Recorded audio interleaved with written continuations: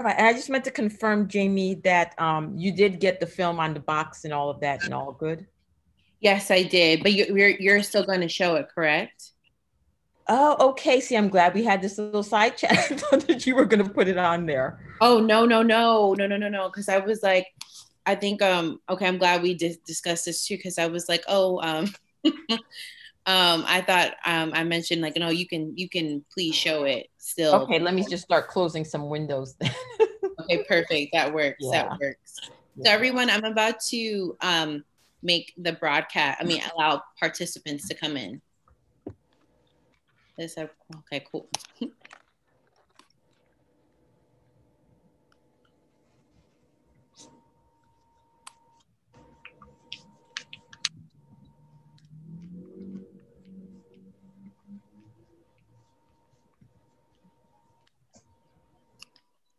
Hi, everyone. Thank you so much for joining us.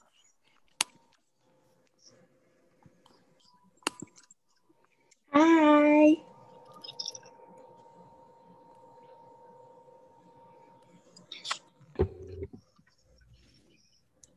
That's great. Great. So we're going to get started in a few minutes or a few moments, but just we're going to wait till a little bit more people come in before we get started. So thank you so much, everyone, for coming in. And feel free to, um, in the comment or in the chat box, to just like state your name, where you're from, and your pronouns, and what is bringing you today to um, the event on Pat Robinson and honoring her life and legacy. Okay, I'll go first. Um, my name is Erika Hardison, and I'm a journalist and a writer. I am here. All my pronouns are her and she. Um, I'm here because my curiosity got the best of me, and a big part of being a writer and a journalist is, you know, always uncovering things and finding new things to talk about. So I was online, and I was um, actually the topic was, you know, where did the sentiment of, um, you know, feminism isn't for Black women came from? Like, where did that notion start?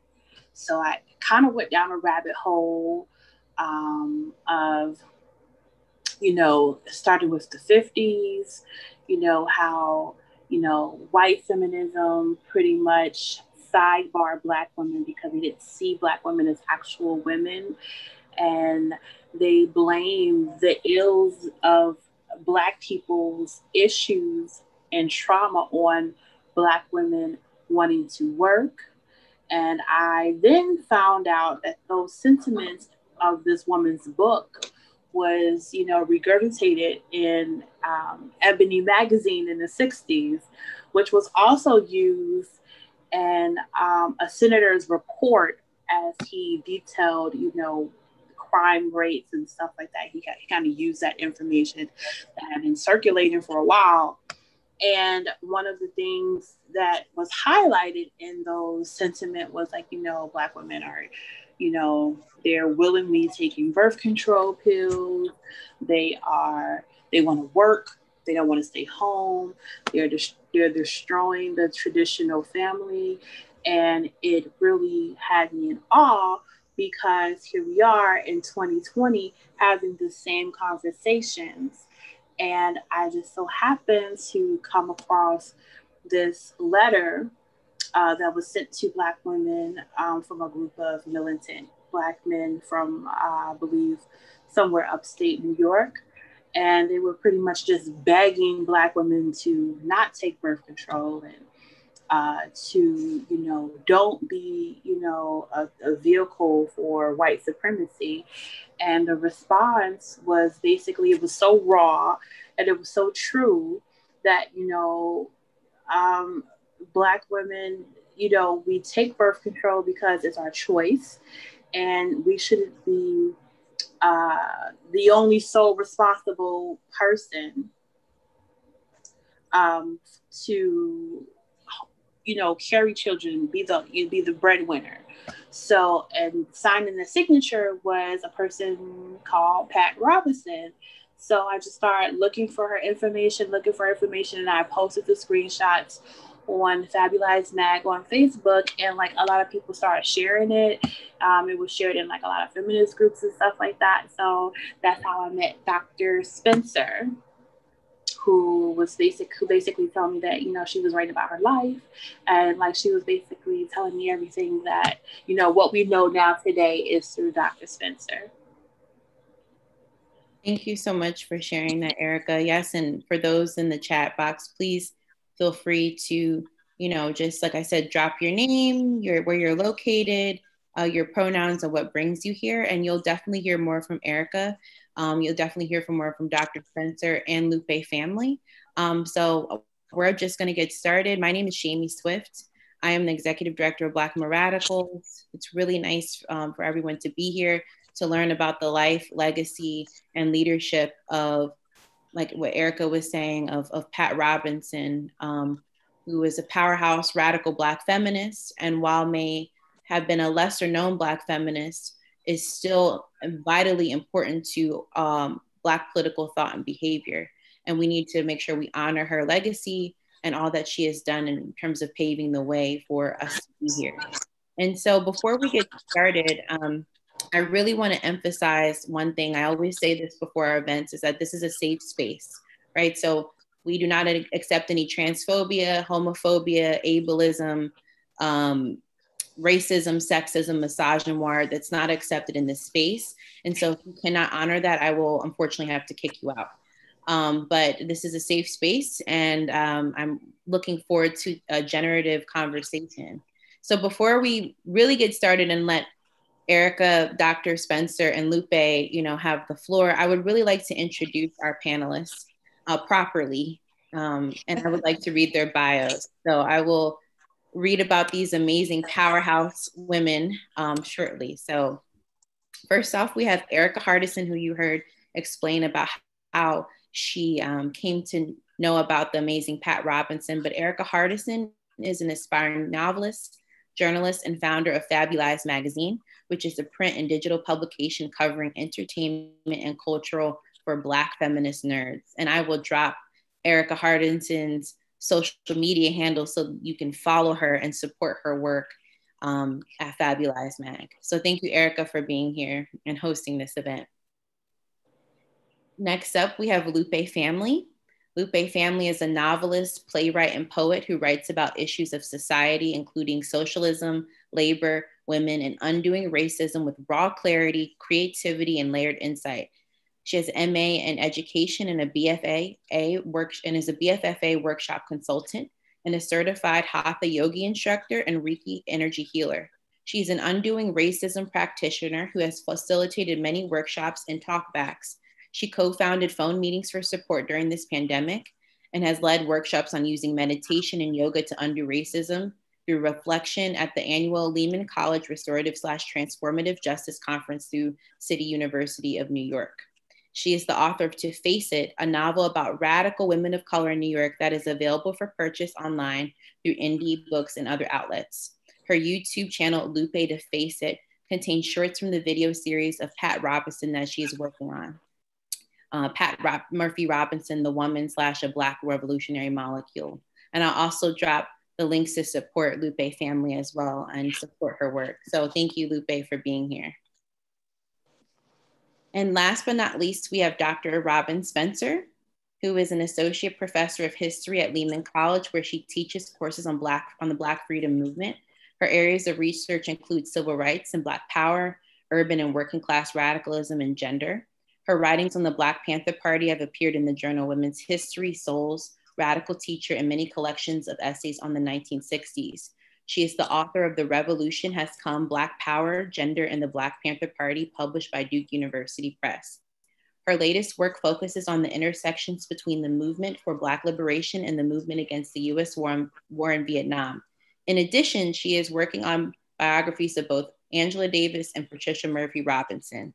So make sure also too to follow Pat Archives, which I'll drop in the chat on Instagram, which spotlights the ways that items in Black left theorist Patricia Murphy Robinson's unprocessed home archives reframe the Black radical tradition. So without further ado, this event is in the hands of the, our amazing guests. And yeah, we're ready to learn about Pat Robinson. All right. Thank you, Jaimee. Um, before we go into the um, the film, I want to ask a question, if that's okay. Um, Dr. Spencer, how did you feel when you saw that those screenshots of Pat Robinson's uh, response was on Facebook? What was your initial reaction? Can't hear you. You're on mute. I was excited. I was excited to see that a primary source that I might use in a classroom had made it out of the confines of the archive and was being utilized to create a conversation amongst young people on social media. So when I saw that document, it was almost like seeing something that you work on out of place. So I immediately responded to the conversation to say, yes, there was this amazing woman whose history is represented just a little bit in that snippet that we saw on Facebook, which was the document that she created, which included her and others talking about Black women and birth control. But there was so much more. That was just the tip of the iceberg. I just wanted people to know that if you thought that one document was amazing, wait until you read more things that she wrote learned more about her life and her analysis. So um, I'm excited. I'm also excited that there are people in the audience and on the panel, like Lupe family, who knew Pat Robinson. Um, I see some folks in the chat um, saying that as well. So it's exciting that we're all here together. So maybe I can start us off by answering the question of, well, who was Pat Robinson? So I want to give just a short um, description, and then um, I think Lupe will follow up with another type of remembrance of Pat Robinson from from people who did didn't know her. So Pat Robinson was born in 1926 in the thick of transnational Pan-African organizing. Um, she was raised in the Black elite as part of the Baltimore Afro-American newspaper family. So she came from a family of people who were working hard to put out the news about uh, Black life and to criticize the realities of Jim Crow at the time. She became radicalized, though. She became radicalized by Marxist theory and experiences of sexism and racial inequality. And those theories would become her compass until she passed away in 2013. So when we in examining her life, we're looking at someone who was born in 1926 uh, and passed away in 2013. So it's important to note that Pat Robinson is not someone who was, you know, from the 60s and passed away in that time period. She was just here, right? In some ways, her spirit is still here. And so tonight we're trying to raise her spirit to speak to her legacy and her politics and to ask how it continues to be relevant um, to politics today. So she was known for being a strong advocate for women, a feminist, for having a strong class analysis, for being a critic of capitalism. She was a psychotherapist. She had a very holistic view of political struggle, including mental health.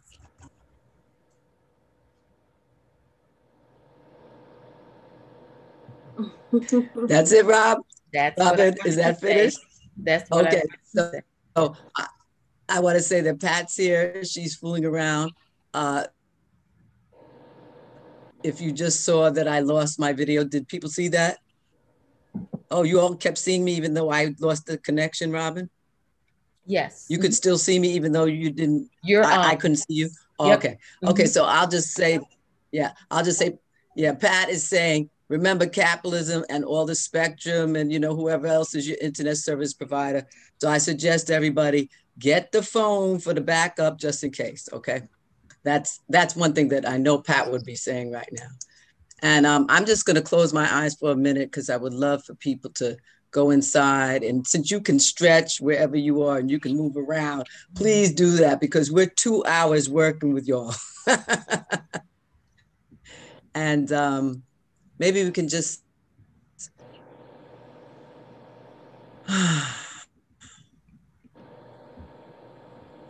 and if my fellow panelists will take a risk with me and just look to the left, I'd like to see the future.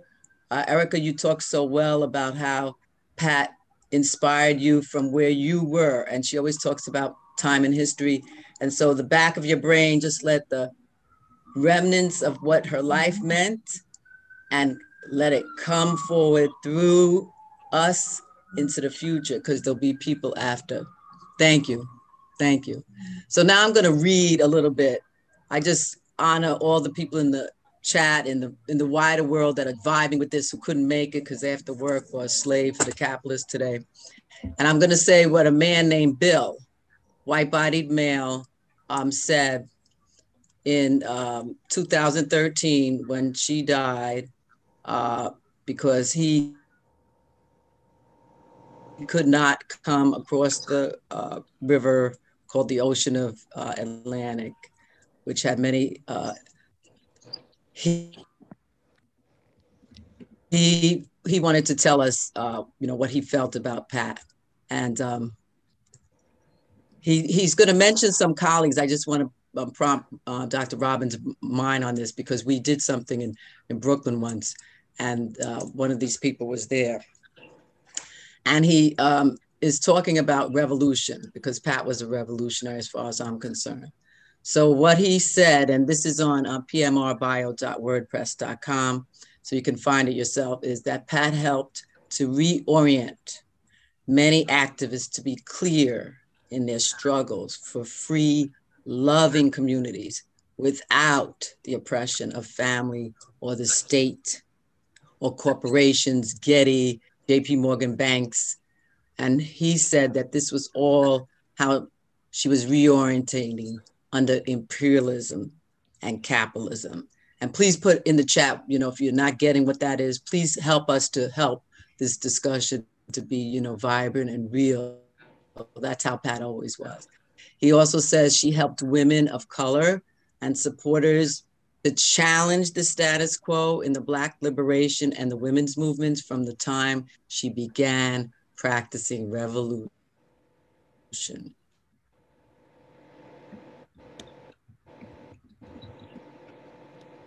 during the last century. And in the, because he wrote it and we took it from what he said. She was one of the radical complexion of Black and Latina, Latino political culture and Black radicalism by expanding boundaries.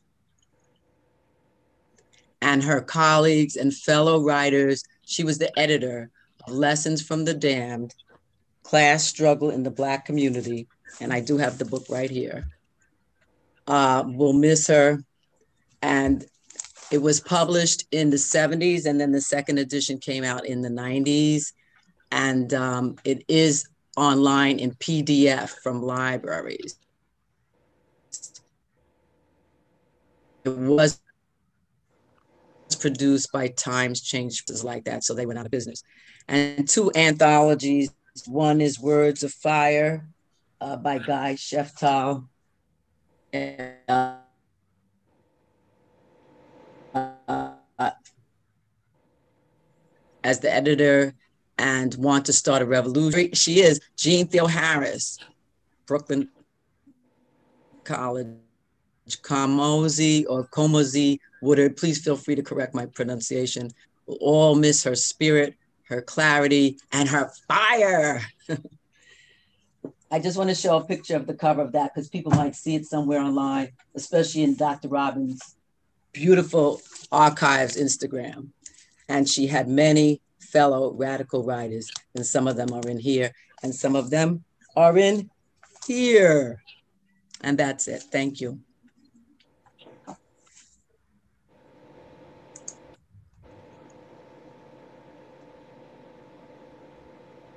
That's wonderful. it is. That's wonderful. That's wonderful.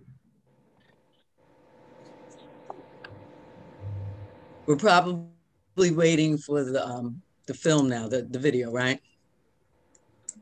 Okay. So I want to invite people Let while we're waiting, yes, just to, to breathe.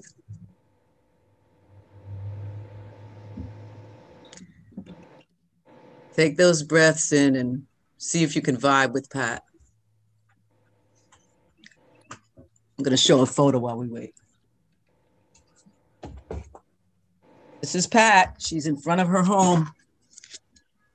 Great. Robyn, help me if you if you can't see. Can you see? I'm focusing on working on uh, putting up the video. Oh, you're I'm doing it. I thought. That. Yep. Mm-hmm. Okay, I thought you. I do have a quick question. Okay, so. Mm-hmm. What do you think? Wait, that's me.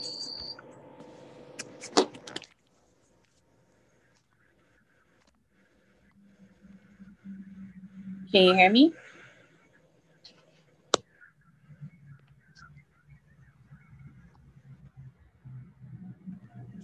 What do you think um, Pat Robinson would say about the elections and politics today? Like, do you think she would um, advocate for Black women to let their voice be heard and vote? Or would you think she would you know, put emphasis more on organizing.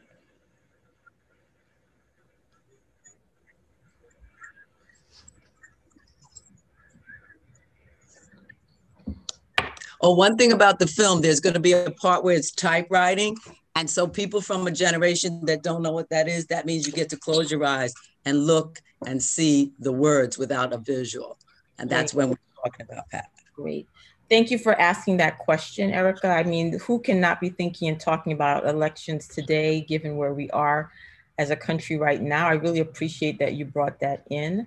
Um, maybe we can bookmark that. And once you meet her, for those who don't know her, who are out there with us um, on Zoom, you'll be able to get a sense of, of who she was and you might speculate about how she feels about um, electoral politics and all types of politics. You really get a chance to see her as a deeply political person. So I'm I'm was told that my screen share is successful. How so do you make a chocolate cake?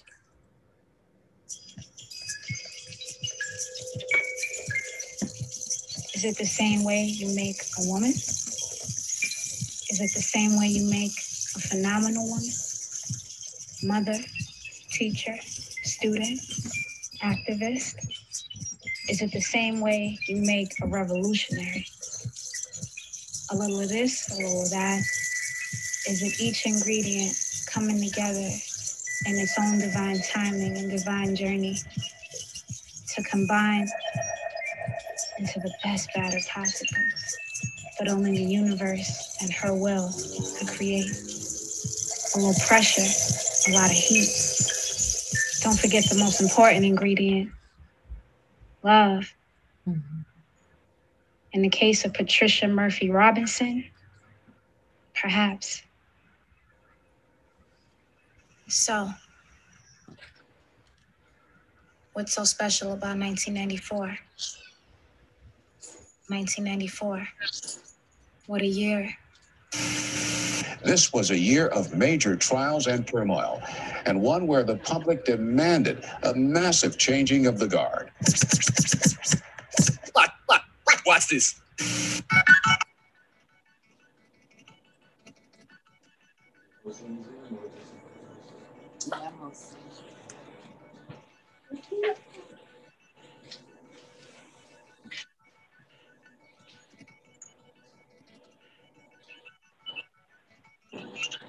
Whole world burned. This new wave haze, hellish hope, and some dope highlights. Something else was brewing. Something a lot more low key, but just as powerful. In 1994, some good vibes, family, and some revolutionary conversations brought three women around a familiar kitchen table. Years later, two of those women, Pat's daughter, Robin Robinson Kirkpatrick, and mentee, student, and friend, Lupe family, come full circle. Must be the spirit of Pat in the air, because on cue is the chocolate cake.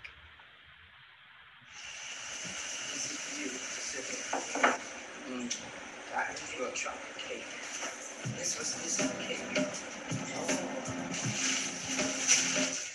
Liked, Pat had, you know, when you get those, those urges to have chocolate, that's what she wanted. That's what she got. When Pat was sick, going down, she had certain things that she wanted to to have. So whatever she wanted,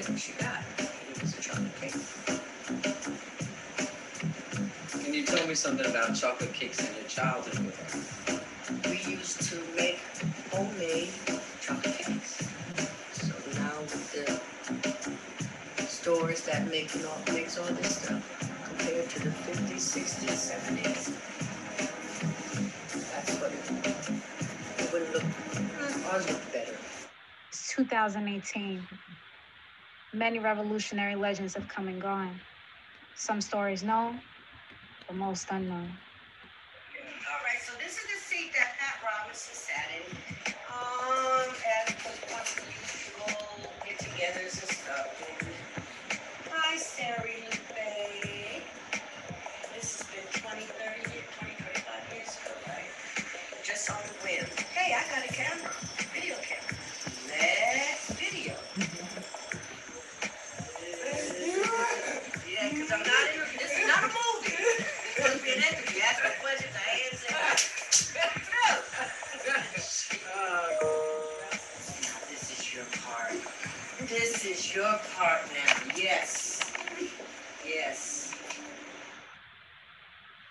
ready, Lupe? Here we go. Personal letters to Pat, written by Lupe family. Hi, Pat. I miss you. Do we want to own ourselves? Miss the hell out of your clarity. Because education is now stupidity, which is why nobody wants to go to school. Because it's totally antithetical to real life. Hmm. You put a map in front of my young eyes that was real and big. If you are in equilibrium mm, with your environment and yourself, you really have to understand the society. And you really have to think it through and look at it fully as it is. I was provoked into thinking by your wild for me question. Do I play the game? Do I not? You live in this reality and always kept alive and real. At the end of 59, that's when my mouth started open. I did not care about shit. I'm going to say what I mean. You shared my life of letting go of the illusions. You don't have an answer to it, try They compensate. You can That you can them out, and outmaneuver one of the most important lessons. Mm. And this is what I've done with all of you all, was to, to teach you very slowly how to destroy the psychological. Mm. You showed me how to keep my own life strong. And study as much as I could. Ooh. And that's how I got stronger and stronger. To provoke her to think so that it began to simmer inside of her. You could not have created any change in her without the process of her turning it over in her mind. I learned from you tremendous reflection of telling the truth and exposing the hypocrisy. I learned that I did not come out of just nothing. I, like all of us, come out of our conditions. We make choices. But I knew what the weakness was. And the minute you get the weakness, you stay on. And you don't get off. Right. And the weakness. perseverance. Right. I love that you would sit with me and let me have my own feelings. I could be myself around you. You were able to make connections with me. And you can examine it. And make up your own mind. Who's right? They have gone into another state of consciousness, which is totally distortion of reality. Mm. Family, spiritual power, economic base, the ruling class's essence, the appearance the opportunity. Technology, my problem and my responsibility. The future, it can be done. Great history the human being, Work, the strength that is there. That's the kind of spiritual power there's no way you can retain. There's no way any motherfucker is going to take me off. If mm-hmm. I decide, and I'm not important, I'm just one little small molecule. A revolutionary molecule.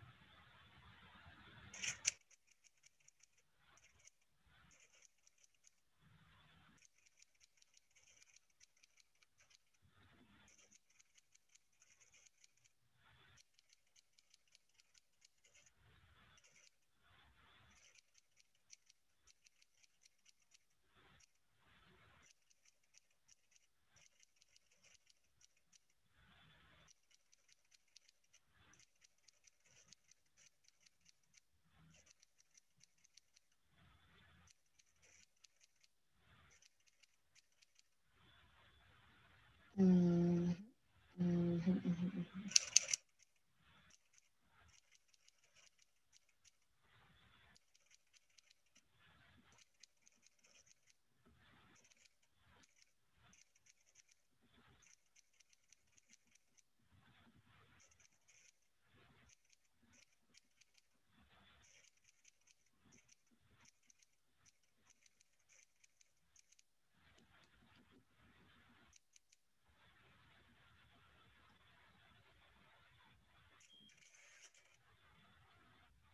From the obituary written by Lupe family. She was one of the radical women in the political arena who changed the complexion of Black and Latina political culture and Black radicalism by expanding boundaries. Expanding boundaries, revolution as a practice. This was her forte. It wasn't enough to just be an activist or only be a teacher. Pat was a strategist. Her independent mind, intellect, disciplined study, and soul made her critical thinking sharp and unique. She was excellent in using and communicating history as a tool, a tool to willfully make sure this history wouldn't be repeated by next generations.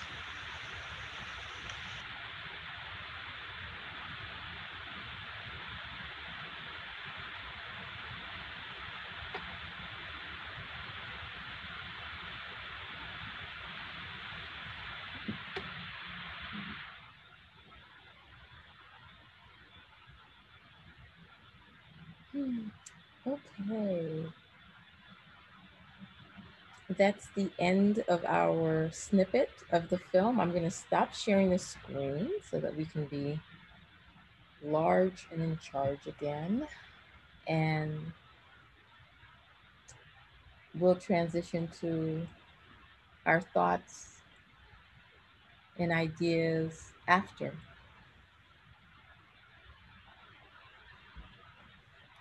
So I know that Erika wants to start us off with a question for Lupe, the filmmaker.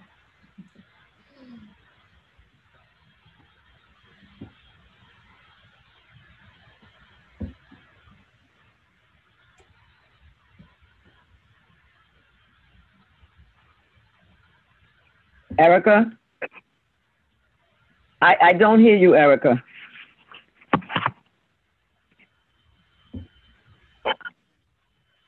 Uh, Robyn, is Erika muted? Can you hear me now? Yeah. hmm Okay. Hey, Um, that's a song. it seems like Pat was very much a great shooter. Like, you know, all she wanted to do was like just tell the truth and she really didn't um care for, you know, you know, who liked it or not. So, you know, what was it like to be like in her circle, like to be her friend? Was it a difficult relationship? Was it more of a, you know, uh, you have to kind of like hold your own around her because she has a very powerful uh, personality. Thank you for noticing. this is her business card. I just want to show people that because look at that beautiful lovingness in that photo, okay? Oh, that's really beautiful. Yes.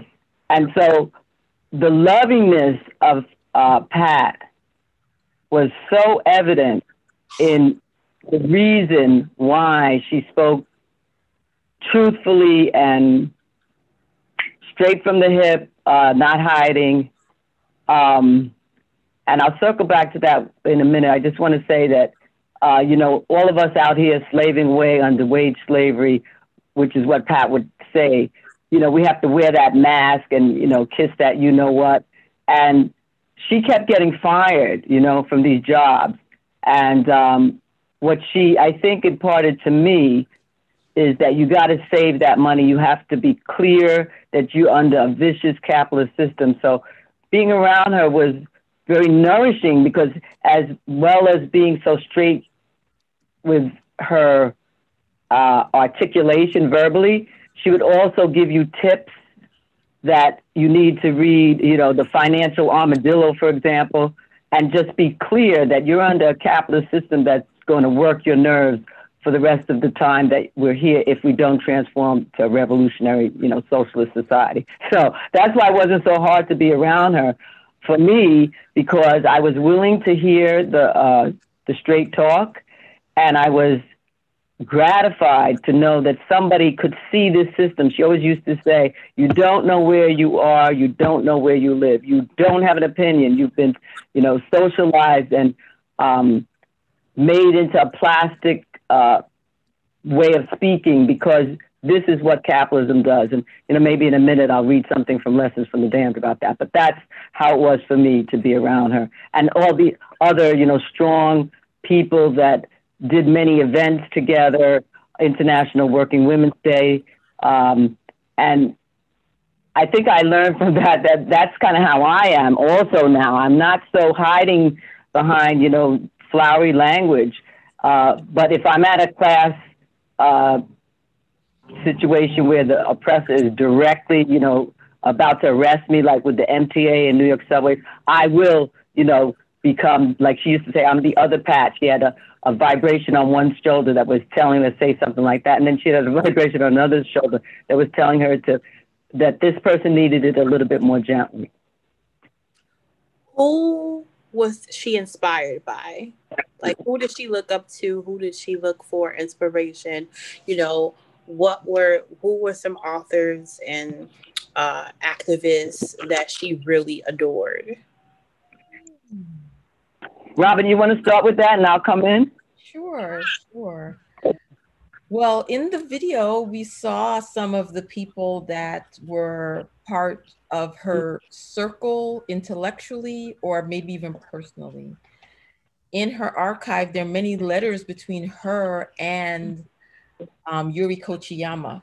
I don't know if you saw her. She was the woman who was walking to her desk, and the images of her desk you can find it on on the internet because she was known for being such a tireless advocate and um, activist.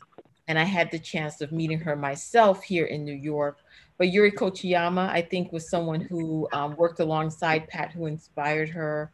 Of course, as many people from the 60s generation, Malcolm X was a big influence. She was also very international. She took her inspiration from activists and revolutionaries from around the world, Kwame Nkrumah from Ghana, Amilcar Cabral, um, Mao Zedong, uh, Angela Davis, the people who were her peers, Angela Davis, the women in um, Gwen Patton, uh, who was part of the Student Nonviolent Coordinating Committee.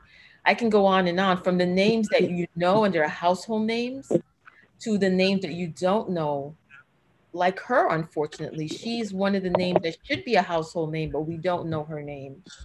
But her circle included many ordinary people who were bravely trying to come together and educate themselves out of the bag of and the boxes that society had put them in. So her circle, I think, included many people that she was inspired by. But in terms of like, if you look at like her books, and I can give you like quantitative research and evidence, she had a lot of books by Mao Zedong. She had a lot of um, sort of the early feminist authors, a um, lot of of connection with what was happening in Brazil, uh, Latin Central America, all of those struggles and movements she was inspired by.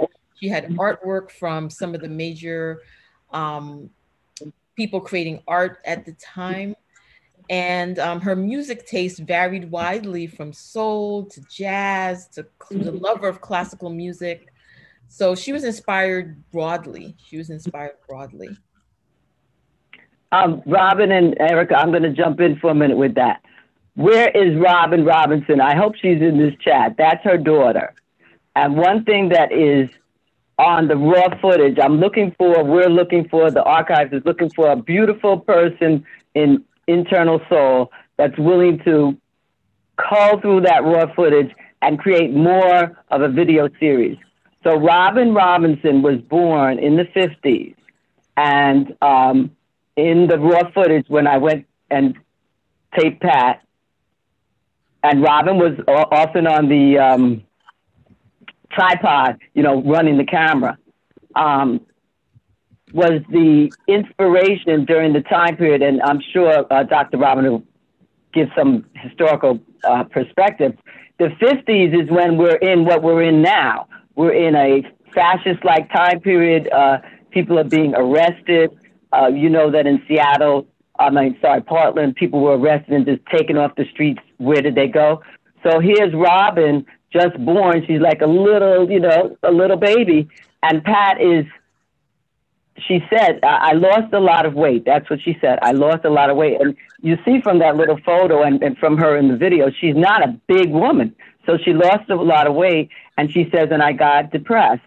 And I looked at that uh, little baby in that playpen, and then um, she changed from just looking at her. And she said, and I started carrying her around on my back all the time, reading my books that Dr. Robyn just talked about. Fidel is another uh, person, and that whole revolutionary movement of Cuba uh, and the women of Cuba. Uh, she went to Cuba. But I would say that uh, I want Robin, if you're on here, Robin, I want you to hear this that that is what we as uh, revolutionary mothers and aunties and you know granddads or whoever we are can also take inspiration from. And i know you're a mom erika you know because those are the people that will be after us. That's the future. And we want to uh, create for the present to be a transformation and also for the future. That's why i would say even though she didn't say this a lot because um, I didn't really know a lot about Native American uh, indigenous uh, revolutionary politics at the time, but I know that she carried that in her spirit that we are seven generations responsible for the future. And you know, Erika, you might want to say something about being uh, inspired by your child, you know, because that's one thing that Pat often said that those who reproduce the labor force, and she worked a lot with um, Red Stockings. Redstockings uh, with uh, Kathy Sarachild uh, about looking at what women's labor in the capitalist world is so discounted because it's unpaid. I'm actually thinking that, you know, um, because she was born in 1926, my grandmother was born in 1922, and there's a lot of similarities with women, black women that were born in that time. Like they have like a certain resilience to them. However, mm-hmm. my grandmother never openly embraced calling herself a feminist, even though she had the traits of a feminist. Um, because Pat came from a prominent family, what do you think was her turning point on being anti-capitalist? I'm still, I can speculate. And those who know her, I mean, I'm just at the beginning of, of my research project, but you know, one, I think we have to look to her family. Um, who, so she was born into a family of people who were already race conscious, who were running this black newspaper that was putting out the word on racism and Jim Crow. On the other hand, she did have radical members of her family, people who were communists. I believe her uncle um, would come to Harlem and was part of some of the radical activities in Harlem um, in the 1940s. I would guess that might have had an influence on her. At the same time, what was also influencing her was the repression of the time. In the video, she talks about the Cuban Revolution. Remember, she tells us that after 1959, you know, she didn't care about shit. That's what she said. Quote. So that was her moment of like speaking out um, at the end of the 50s. But like many people, I think it's a relatable story. You become politicized, but perhaps it's that you're busy child rearing or you're dealing with your economic situation or your partner and all of that. And so she turned inward to educate herself. And I think her life story, one of the reasons it inspires me is that it is the story of, of a pursuit of knowledge and not knowledge for a credential or degree or to lord over someone else, but it was a knowledge that she gathered and shared and transferred and um, understood that the people that she was um, speaking to, as one of our attendees in the audience reminds us, that she, Pat would say that she learned as much from the ordinary people as um, she may have learned from her book. So it was really a transfer of information um, that she was part of. So she was an amazing teacher and a mentor, I think. That is what I'm gathering just from my research. I'm at the beginning of the process in terms of speaking to a lot of people who knew her in person, except Lupe, of course. uh, Erika, Erika, would you would you restate that? I want to say something specific about the family. Um, I said, what do you think was her turning point of being anti-capitalist, anti-capitalism coming from a middle class family because oftentimes we see a lot of middle class black people you know they want to keep you know moving upward they don't want to really associate themselves with people that aren't um, of their standing great well i want to uh, reveal some things that i think are important for us to know about the family and i don't mean just her family uh, there's a paper that she has written. Um, it's in the larger, you know, video. Uh, it's also on PMR uh, bio.wordpress.com about how the family is trained to be the ideology factory for the capitalists. So even though there was, I believe, uh, the race consciousness, um, Du Bois, I think, was in the because the newspaper was called the African American, and they were in Maryland, segregated Maryland. Uh, the issue was that her mother was passing. Her mother would go into the store. This is in the raw footage, and um, she would tell Pat, who's light as Pat is, to stay outside because she didn't want her to reveal by her beingness that oh, this this woman was uh, the mother of a black child. And then uh, Pat would she she said this. She said, I'd mull it over in my mind. Oh, that woman. And then she'd say, but she's going to get me something nice, you know? So I think that that relationship, and many of us have this with the family of origin, that's going along with the system on some level, like you said, uh, Erika, about, uh, I think Pat would call it the petty bourgeoisie. She wouldn't say the middle class because she is very much a Marxist and she'll use those types of terms. Uh, you know, taught us that if we're going to keep going forward, we're either going to have to submit like they have been submitting on some level to create that class divide in the black and brown community, or we're going to have to rebel. So I know that that was a big thing that she did talk with me personally about. And also, uh, she says in the, in the raw footage uh, some other things about when she and um, the family, the uh, nuclear family, not her extended family, when she went to college, you know, she started to see really what those college experiences were about. So I want to read one little thing about uh, this book, from this book, uh, Lessons from the Damned, which is edited by Pat, but it says, let our individual names pass away and be forgotten with all the nameless like us. Because I think the more she interacted with more working class people, um, because her husband uh, worked in a school that he was the guidance counselor, and a lot of people from that school, including Maureen uh, Atterbury, also known as Catherine, uh, would come to you know hang out with Robin and and Pat and um, Chris and Kim, the the twins, and um, they would talk about you know what were the contradictions in the school system. So in this book, they have a piece about um, staying in the system for the children's sake, about the teachers, but they also talk about the, the families.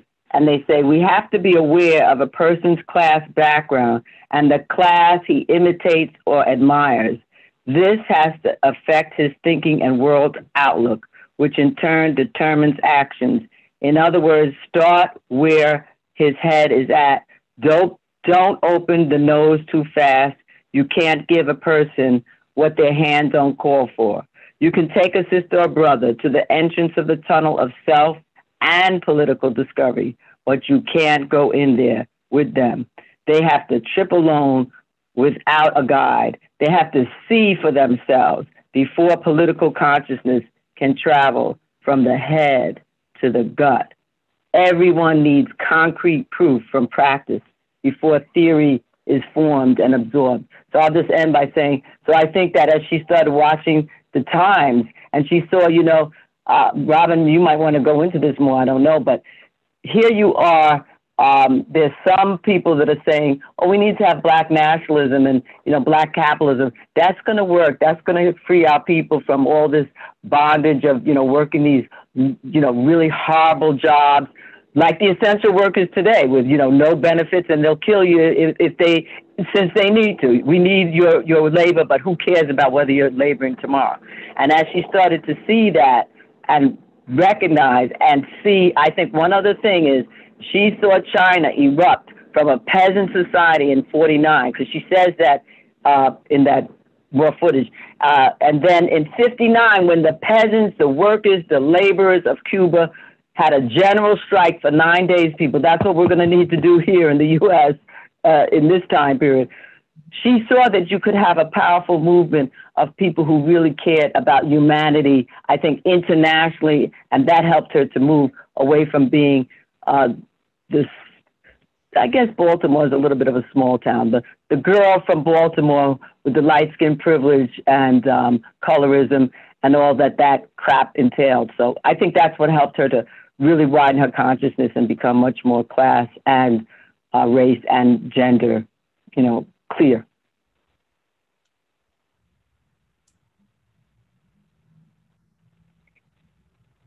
Erika, I think your sound is off again. Yes, but, but I have a question for you. Oh. Okay, I'm sorry, go ahead. Mm-hmm. I, I was just going to ask Robyn if she thought it might be good to bring in some of the history because I think Pat loved history. And that's what all of us today could know. Your history. One day, there's a woman that's in this uh, audience today. Oh gosh, I hope you can still hear me. Robyn, can you still hear me? Because my video left. Going, yes. Okay. Okay, thank you. So uh, capitalism is not going to kill this this webinar. You know, because you could be having people from the CIA, et cetera, on here. So people just be aware. Um, so this young woman in her 20s, 30s, Yvonne Mayton from United Tradeswomen, she told me that uh, when we all were coming to her house one day for like a meeting with Pat, she looked out the door uh, inside the little peephole and she said, Oh my God, I thought this big voice, big woman, this is the first time she's going to meet her, uh, was going to be very tall. And Pat is like five one, you know.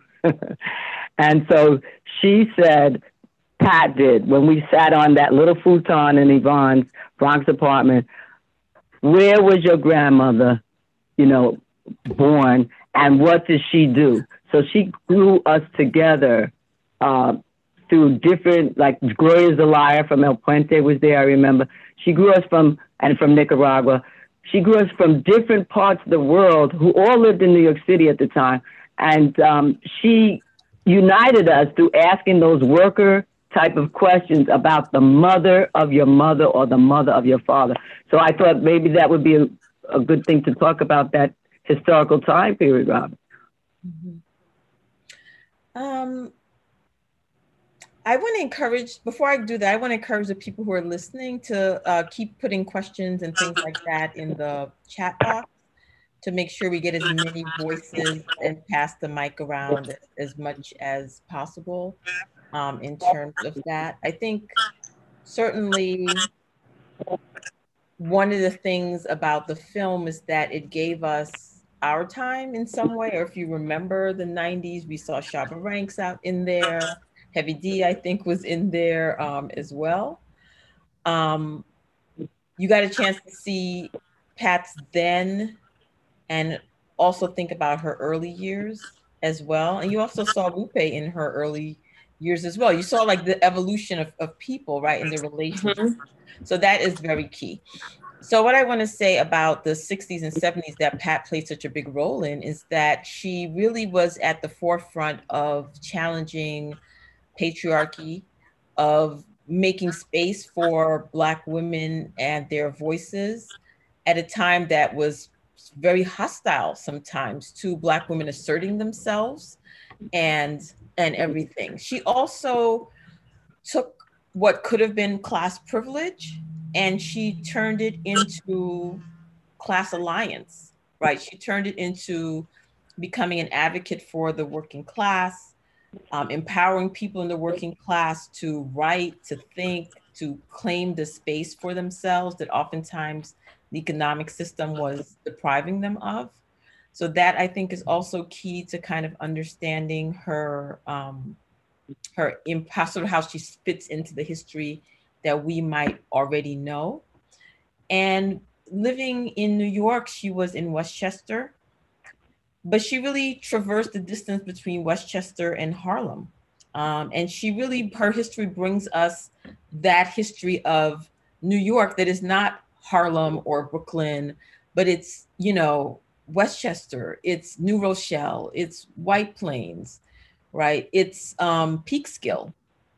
So she's giving us a new, a new vision of New York and where and how New York politics erupted and happened and how those politics were directly connected with um, what was happening in um, places that we're more comfortable thinking about as hotbeds of, of radicalism, like like Harlem.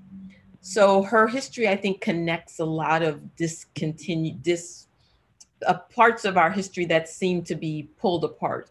So yes, she worked with and aligned herself with radical white feminists. Yes, she did. She worked with and aligned herself with the budding LGBTQI plus movement. Yes, she did.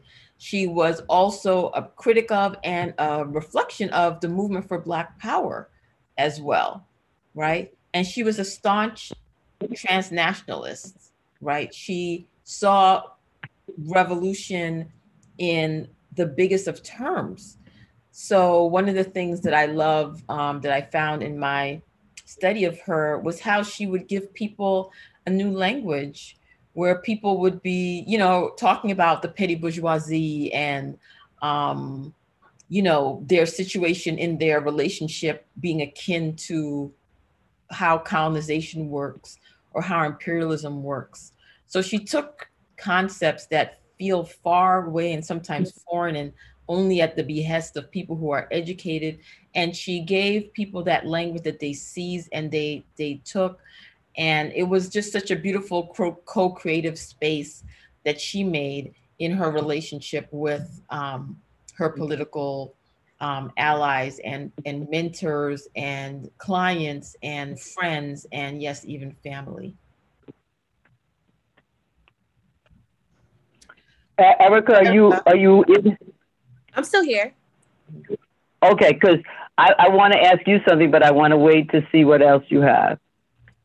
Um, I have like a lot of questions because I feel like um, I'm in the space where a lot of Black women, especially like younger Black women, they are moving towards radical thought, but they don't really know where to start you know um, mm-hmm. how what type of advice do you think pat will give to younger black women Could you say while, we about, while we think about that, I want to just highlight that someone in the chat box said Pat showed us our power.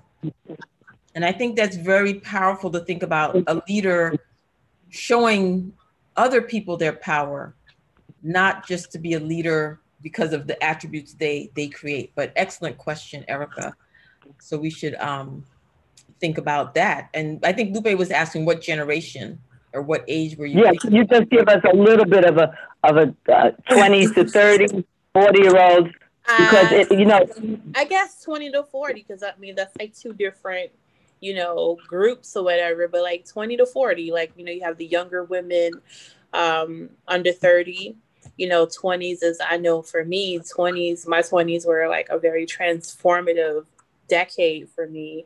You're actually coming into your own and forming into your own thoughts. And then when you get into your 30s, you pretty much feel like you know where you are, but you're still looking to like grow into the woman that you want to become. So, you know, what would Pat tell younger women, younger Black women, younger women who want to be um, activists?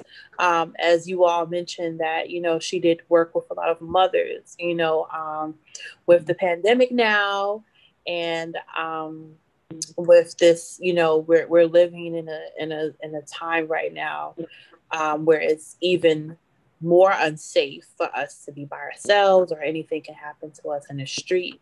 How would she advise younger women to organize? Oh, that's a great term to organize. So I want to ask you to help me to answer this. This is how Pat did. She would, I found, that's why I told you about the grandmothers. You know, I'm Mhm. sure she knew she was coming to that South Bronx apartment to organize us, you know. She would inquire. So if you're a young woman in your 20s, and you can be you, Erika, in answering this, or you know any of your friends, or you know your workmates, or whatever you want to choose to do this. Your spiritual buddies. What is the group of people that you're bringing into this uh, conversation? What is the what? Can say that one more time. Yeah. Uh, okay, in my 20s, I would be bringing in a lot of artists. Okay, so in your 20s, who are the people that she's saying uh, the answer to this question to? Who are your peeps? Oh, in my twenties, um, definitely school friends, um, High school? High school? No, twenties. I was in college. Mm-hmm. Okay. Um, uh, art, artists. Is, is it, is, it a, is it a class college with, you know, bourgeois, you know, cute little things like, you know, we're the uh, Seven Sisters or with a, or is it more working class?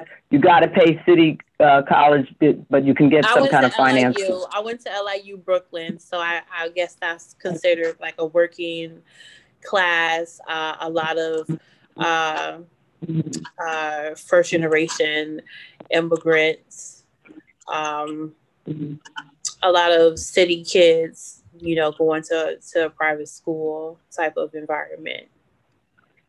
Or, or, or city kids going to uh, to LIU, you mean, right? Right. Okay. So I don't know if you can see me because I can't see you all at all. Can you still see me? No, it's, is this your phone icon? O- Okay, so I'll just say a quick answer that I'll try to get dealing with these spectrum people who have, you know, no care in the world for you paying the bill on time that they should provide any service. I'm sure she would say, talk with your peeps and ask them what's bothering them. They might talk about their family. They might talk about, you know, their love life. They might talk about that the school is ripping you off. They might talk about the teachers are not giving any kind of real information about how work relates to, to the college degree that you're supposedly um, taking up. The whole idea is to organize with others, not just be alone. And I'll, you know, expand on that if we have time, but that's what I think she would start with. You have some issue wherever you are, whatever you're doing. You don't have to, like, she would send me, I know, to Monthly Review Press. I hope somebody could put that in the chat, maybe Yvonne. Monthly Review Press. This is a press that takes up all kinds of issues from the world. And she would say, now go in there and go to what you are drawn to. You see, like go inside. When we didn't have the internet, So we would go to places, and when you're there, just look around and feel which book, which magazine, which Syracuse cultural calendar relates to you, and start connecting with others who also are into what you're concerned about. Because uh, I had a conversation with the uh, woman from the United Tradeswomen, Yvonne, and what she was saying is that first we got to feel our own pain, our own personal connected pain. And for me, it was nationalism. For you, it might have been, you know, women's oppression. Then I went to women's oppression, and I still kept finding through the conversations with Pat, oh, this is not wide enough because I saw that the black nationalists were going to keep me. It was great. Uh, Malcolm was a nationalist too in the beginning, but I didn't only see racism as the problem because I saw black people in black skins saying to me in jobs, well, you know what? Forget about those Harlem kids. We're going to just do this this way. Or those women in these nonprofit, blah, blah, blah. Well, you know what? Do we really have to bring up that issue about the black and brown women, you know? So I kept widening, but you got to start somewhere. And usually people start where their own pain uh, resonates. Does, does that uh, vibe with you a little bit, Erika? Yeah, I understand. Um, Dr. Yeah, but, but, but, but oh, Dr. Spencer wants to go back to um, talking about some of the points that were made in the movie. Um, in the film, we did see um, Pat at a round table in the kitchen.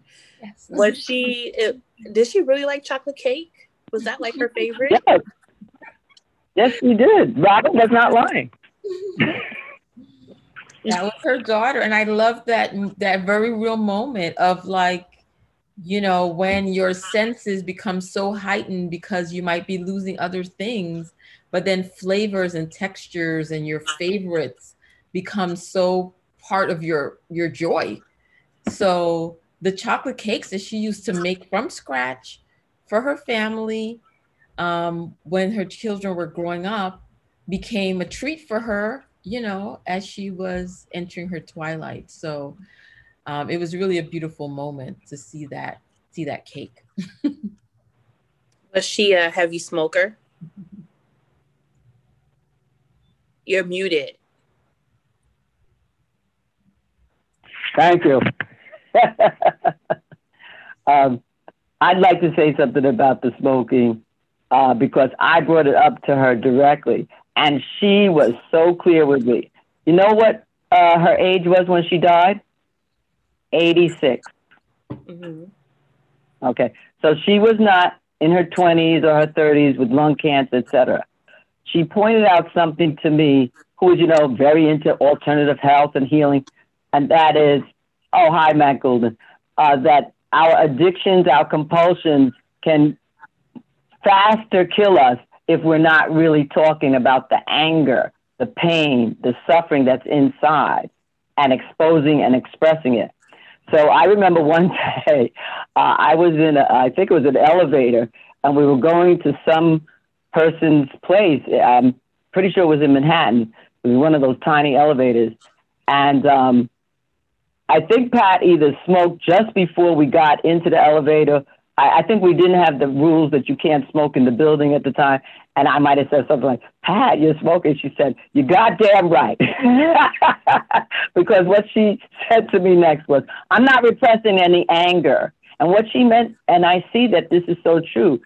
Uh, if we hold back that force that capitalism puts on our hearts and our souls, you go to these jobs, you go to these schools, you're frustrated with so many things. You don't have a job, but you don't speak about that anger and you just stuff, see with the cigarette, stuff it in. Then you don't have a place where you're releasing those um, physical things. Emotions can become physical, you know, hurts to our organs. But if, or and I'll say, if you are releasing it, you have a better chance of uh, not contracting. She didn't die of, of lung cancer. The thing is, she also said let me see, I want to take a moment to say this well. You know, I'm dealing, she, she helped me to understand her as a human being. I'm dealing with all these different vibrational levels. You know, our consciousness as a group of people when we would get together in these groups was not the same. You know, there was somebody here who's like very new, doesn't really understand some of the terms we're talking about stuff. Then there's like Myrna Bain. She was a, a, professor at Hunter College. She would be very clear about, you know, many things, especially internationally. And um, Pat's trying to, and she did such a good job of this. She's holding all those vibrations and she's translating, not, you know, Spanish to English, but she's translating what Marxist theory means to the sister who's very gender orientated or the lesbian sister wants to talk about, you know, I want to get alternatively fertilized. And Pat was very supportive of that. So she's constantly translating. She said, I need something to just be with me so that I can be for you all. Imagine how much she gave to us all the time. That's powerful. And I want to say, just from a, a textual standpoint, that, you know, when you look into her home archive, you note that she has um, close to 10 dictionaries.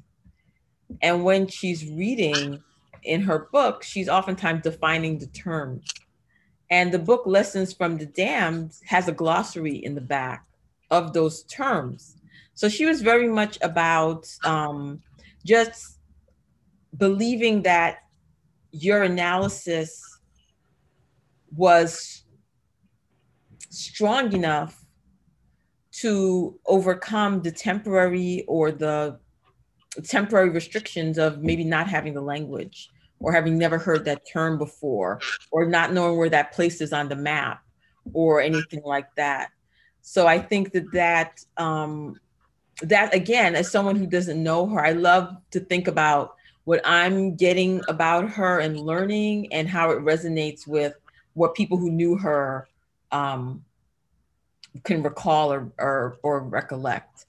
And I hope everyone's reading the chat box. There's a reunion in there, and it's so beautiful to see all of the people who knew Pat saying, "Yes, she smoked when I saw her," and "Yes, you know this happened, that happened." So it's great that everyone um, is here and that we're here together. When did Pat start to advocate for um, LGBTQ uh, couples, specifically Black women couples, to adopt children? Well, Robyn? what I found, the, ev- the evidence that I found is that um, there were two bits of evidence. One is that she supported the publication of an essay advocating for lesbian mothers at a time where um, lesbian motherhood was not seen as a positive, as a probable, or as desirable on any level. It's it feels so in a way somewhat commonplace here, but it's also I think important to um, think about her as a pioneer and also her as a door opener. Sometimes when she believes in something, it wasn't that she herself had an essay about it or something like that, but she might have opened the door and made the connections or helped someone edit their own writings about that. So those are some of the things that I found um, in the archive. that sort of evidence that she was someone who was open, and that's important because this is a time where, in the 1960s, the question of sexuality was a bomb in the middle of the women's movement. Right? It wasn't so obvious that your feminist was going to be on the side of, you know, someone who um, considered themselves a lesbian using the prominent terminology of the time. So that was important to know as well that she um, she had a vision of freedom that was big and that um, included speaking for groups that she didn't have any um, you know per se like identity stake in. I feel like today we tend to operate so much from that place. Um, but I think she operated from a sense of justice and took made sure that she came down on the side of people who um, were fighting for, for more rights, more visibility, um, etc. And in this way, she and was. Erika, I, sorry, Robyn. That's all. I just wanted to say, in this way, she was a pioneer. Erika, I want to turn towards your generation a little bit here before the time gets running. Uh, are you open to that? Sure. Okay. So, Erika, now that you hear this, um, I'm sure that you might have some gender politics, um, especially about queer um, folks' issues. Look at all the trans, brown, and black women that have been murdered in this last, you know, time period, and all the demonstrations. You know, can you make some connection that you feel from what you know now, even just from this conversation? Just take a risk if you feel comfortable, uh, because I know that that's one thing, Pat. Uh, when I was interviewing her on WBAI radio, and I asked her, "What should we do?" She said, "We cannot direct the people. We need to find out where they're at and go with them where they're leading." So that's why I'm asking you this. You want me to um, answer the question on what I feel that she would respond to? Not so much that. I mean, I hope some of this is touching you because I'm sure, you know, the beauty of these technologies is we'll see this again in 20 years. You'll be maybe almost 50 or whoever knows, you know? so right now, I know you don't believe it's That's possible. Well, no, we'll, we'll need to do a lot more about climate. She did talk about climate justice, but let's not get off onto another tangent. I just want to uh, bring it to you. You're under 40 what are you being inspired by? And I'm I'm sort of uh, turning towards you know uh, queer and um, trans politics because that's something that wasn't as uh, explicitly in the media, et cetera, in the 60s, 70s, 80s, 90s. I didn't know in the 60s, but 2000, 2010. So I'd love to hear what you're feeling or inspired by. Uh, well, I'm definitely um, moved and concerned about uh, pregnant inmates, especially during the coronavirus pandemic. Um, prisons and jails are not meant for women, they're not built for women. They are. Um, I, I, read an article where um, there are more women in jails than almost men at this point, especially Black women. Black women don't typically go to prison, they let them stay in jail. So I am definitely against, you know, for profit prisons. Um, I'm definitely an advocate for Black maternal uh, health care. Um, Black women die uh, more than any other woman when it comes to you know the maternity health crisis. That's a real issue. Why are black women dying you know trying to have children or a year after they give birth? You know a lot of women just a lot of black women are not making it in during their pregnancy. And it's um, because you know we're evaluated differently.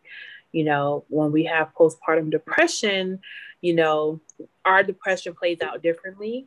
We don't you know we don't say that we're we're sad or we're you know um we're we're upset. You know you know we say that you know we don't feel good or i'm not hungry or you know it just plays out differently it's a culture difference so those are the things that i'm personally um concerned with and where my energy goes to but i'm also you know concerned about um my daughters future. You know, um, I don't know what type of world is out there for her. You know, will she even have the opportunity to go to an actual preschool?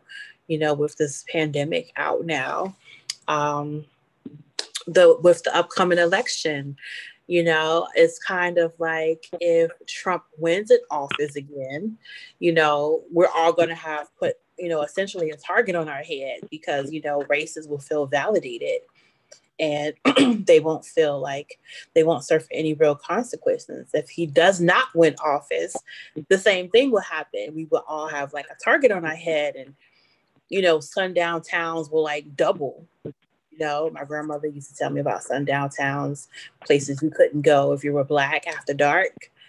So those are the things that I'm concerned about. Robyn, I think we have a lot. That. Thank you for sharing that, Erika. I mean, those I think are such important um, concerns. One of the things that I have gathered from looking through the Robinson um, family archive, so lovingly preserved by Robin Robinson Kirkpatrick and family, um, and aided by there's so many people who have helped or sent acid-free paper and organized something in order to make sure that Pat's memory is just not in our head, but is something tangible, right? Because we can talk and talk about her, but you know, evidence to say I knew her, I heard her say this, this is what I saw in her book, right? These are the things that that we need to make a case for her. So um, one of the things that I've gathered is that Pat remained a very optimistic person. She was subscribing to and supporting radical periodicals and journals through the night, what can we call it, the nightmare of the Reagan years. She continued to um, look internationally. And I believe that there were times where domestic politics might have felt, you know, very challenging. And she gained inspiration, I can see, from her deep connection to what was happening, um, the revolutions that were happening, the fact that total change was still happening in parts of the world that she could point to and look at and become part of. She, I think her poetry and the fact that she read not just like hardcore political books, Marx, Mao, Lenin, although she did read those. And those are hard reads. You know, it's not easy to read hundreds and hundreds and you know thousands of pages of political theory like that and she she did that but then she also read poetry um, she read um, novels and literature baldwin richard wright alice walker um, Eduardo Galeano was somebody that she had um, in her in her library. So she brought a, a cultural element to it as well, right? She was open to revolution, meaning not just sort of hardcore change of politics, but also art and how you live your life and what you surround yourself with. And I know I I feel that there were times where she made her surroundings an oasis for her politics, right? There were times where she was out in the world and making political things happen there, but especially uh, maybe later in life when it good getting out there was meant something different. Also being around in the early days of the information superhighway, let's say, right, and then using email and things like that. I believe that she um, continued to draw such strength and inspiration from the art the um, spiritual practices that she adopted, the poetry that she read, um, the magazines that kept coming, and that she kept giving away. She was not, she kept a lot of magazines, but she also helped people with subscriptions and she sent off magazines to other people who needed it. She was, she circulated things. She, she was a conduit. yeah Robert. Um, I want to say something uh, because I don't see you physically, Erika, which means maybe your daughter is talking to you. Um, I wrote down a few things, but Jaimee, if I need to listen to you first, I can wait. Yeah, no, you can go ahead. I just wanted to um, come in and say, like, we're almost at seven o'clock, and that we also have a lot of questions from the audience as well. And so, to make sure that we get around to asking those questions, because I even got questions from like two days ago. So uh, y'all were really excited about honoring the life and legacy of Pat Robinson. And quickly, Lupe, to your question, I just want to go in when you were talking about queer and trans lives. Obviously, I didn't know Pat Robinson. I've just read her work from The Black Woman, edited by Toni Cade Bambara, but I think she would be at the vanguard even today if she was alive about Black trans and queer lives matter because if she was advocating for and being an ally before it was before i guess um you know before the contemporary times i guess when it was in in media just imagine if she was alive today how she would embrace the movement and how she would be involved in the movement and how she would um, um, speak up against the atrocities that are happening to our black trans sisters and siblings in not only in the US but in the African diaspora. So I just feel that spirit and sense from her. So but keep but uh if you would like okay, to, I'll quick I'll quickly I'll quickly say that that's so beautiful because first of all, Pat got Jaimee on the screen. Wow, Pat, you are powerful. oh, Jaimee. um, Erika and all the Erikas out there, because I don't know, uh, you know, child may be saying, I gotta eat, I'm hungry, whatever. But first of all, bring your children to your political gatherings. Do not hang them at some other place and some place far from what you're doing. And have uh, Redstockings and National Women's Liberation, they always have childcare at every meeting. We will be past this, uh, I call it the depression pandemic, because the depression, uh, Pat would say, I think, is what capitalism does every seven to eight, ten years. It is an unplanned society for people. They don't give a damn about us. They don't want us to have sex freely and feel relaxed. They want us to be just working and get to the job and make these products. Let us sell them, almost sell you, and then discard you like a, a piece of nothing. So bring your children, and then if you can, I would say that she would encourage the younger families because your families now I, i'm seeing so many people do more community family you know the uncles and the tios also being a part i never saw my father never pushed a baby carriage um, to look outside of capitalism as an alternative to the degradation of the human spirit and see what you believe in i'm sure she would say something about cuba and um, and she did practice some of the cuban spirituality um, practices. We can get into that later. I know somebody asked that in a question, and we had that in the other time that we talked early this week. That the spirit can guide you as well as the conscious, disciplined theory and then practice with other people. So I hope that helps you a little bit, Erika, to know. Of course, the sisters in the jails are she wrote a beautiful piece. I just wrote it down so people could look it up later on um, pmrbio.wordpress.com. It's called The Historical Repression of Black Women's Sexuality. And she says, listen, we were, we're, we're still being used. Slavery is in effect in the jails. That's why they have those women in there, because they want to make sure that you are not able to ideologically clarify for your children what is the problem with, with capitalism when you remove that parent who can be so uh, influential on making a, a opening for you to resist, you're going to have robots. You're going to have children who are robots. And I see that Donna Middleton is in here, so I just got to honor her. She's in that. Um, I don't know, Robyn, if you remember the title of it, but she's in here. She's in this uh, Words of Fire, Donna Middleton with Pat and some other people. Uh, with a, a piece that they did. So I was going to say, Donna Middleton, if you want to write in the chat, how was it to have someone in your neighborhood who can talk and think and reflect you? Because that's another thing, Erika, that any young person's uh, inner self needs to be reflected. Even if you don't agree, I, I find it so helpful to at least reflect. Uh, I'm sure Dr. Robyn does this with the students. Reflect where they're at and then draw them to a more uh, wide internationalist, anti-imperialist stance, let's say. Yeah, there's some exciting stuff going on um, in the chat. To me, it reminds, well, there's a comment about Pat talk her, her views on sex. She wrote an essay, which I have excerpted on Pat Archives on Instagram, um, and I excerpted it in the wake of all of the controversy over Cardi B and Megan Thee Stallion's um, song.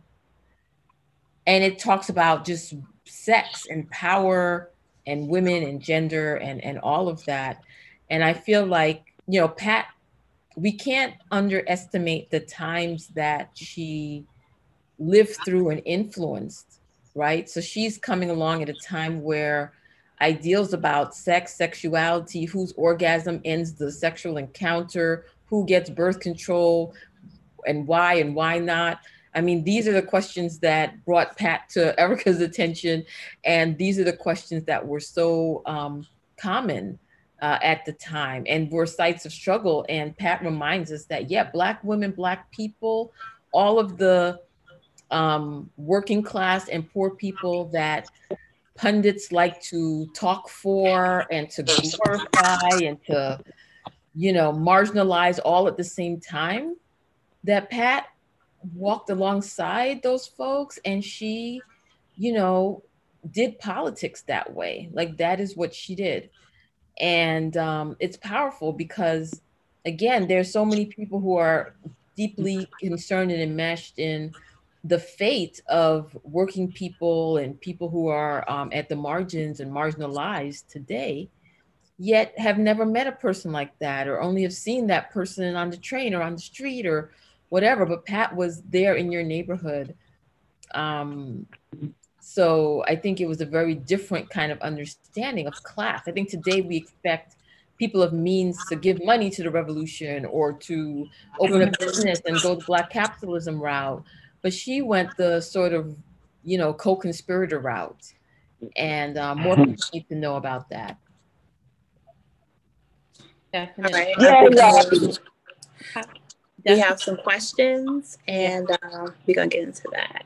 So, can any can you all see? This is Jaimee. Can you all see the questions? Um, if not, I can just read them because in the Q and A.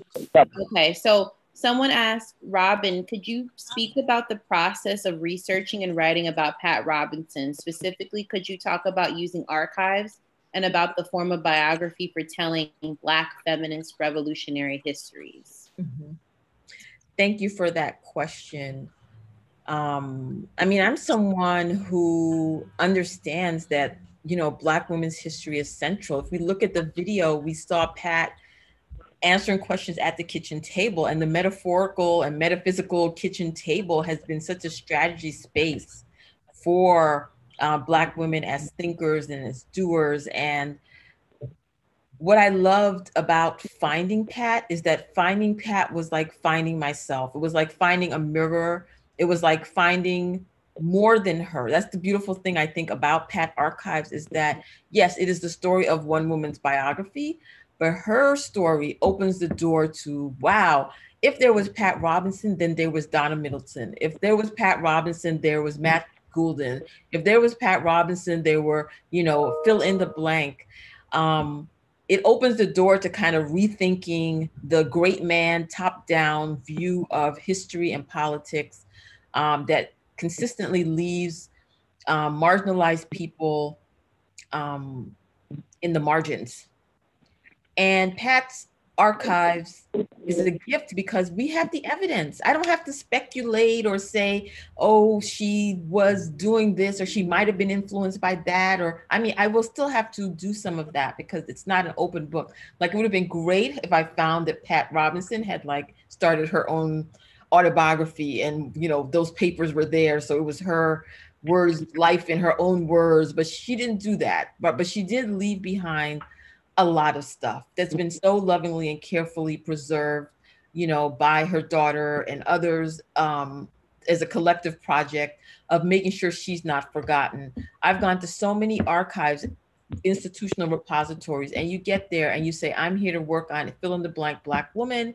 Oh, their archives are offsite because nobody looks for their stuff, or, you know, we can't, we had just have this one letter, you know, or this one item you know there's thousands of items in pat archives and it mm-hmm. is it challenges the ideal that scarcity is the predominant reality of contemporary women's archives and it makes visible the way that people are archiving themselves. That it's not you don't have to go to archive school um, this is also a lesson of Pat Archives. Save your stuff, people. Make sure that you know your contributions to history are something that can be passed down to your family members and maybe eventually um, to a place where the public can gain access to it so that we don't have to say things like well was anybody protesting you know donald trump who was from the bronx you know, because we have oh reams and reams of paper and and things like that.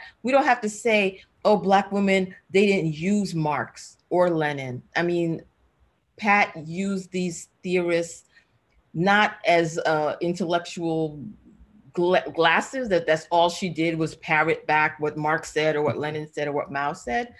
She used her knowledge to really interrogate them, to read them. I mean, she's arguing with Du Bois in the margins of Black Reconstruction, right? She's in there with Cedric Robinson. She's in there with all of the big male thinkers that we know, just like that. Um, but she is interrogating them and she's teaching other people how to interrogate them. So that I think has been the beauty um, of Pat Archives is just to have the evidence because um, we're not all going to live forever to be able to tell her tale orally, but we have the evidence that says this is who she was, this is what she meant in the world, and um, it's been a powerful thing to to do it. That is why I call this project sort of the wildflower in my research life because it is just you know uh, irrepressible, like Pat. that was great, Robyn. Uh, I'm going to put in the chat again what Robyn put because I can see we need to keep going with this. And people, we may not be able to get to you every single answer. You know, save the chat and send it to you. So could you please email um, Pat? Is could you say for me, Robyn? I, I got. Oh, here's my glasses. You want to just say it, Robyn, aloud? Yes, Pat is back 232 at gmail.com. In addition to being a filmmaker, an activist, uh, you know, someone who is so interested in developing discourses and abilities to challenge racism and undo racism at all levels. Um, Lupe is also an author. She's published a book called To Face It. And the character in that book, Pam, is inspired by Pat Robinson. So um, she's getting together an online book salon uh, on November 12th at 8 p.m. So to be part of that, email Pat is back 232 at gmail.com. Pat is back 232 at gmail.com. I'm going to put that in the chat right now.